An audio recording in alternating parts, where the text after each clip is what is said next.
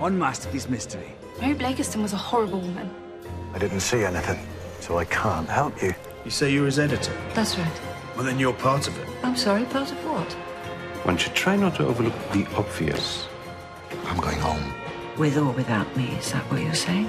I would advise you to be careful, Miss Ryeland. Betrayal hurts. Magpie Murders on Masterpiece Mystery.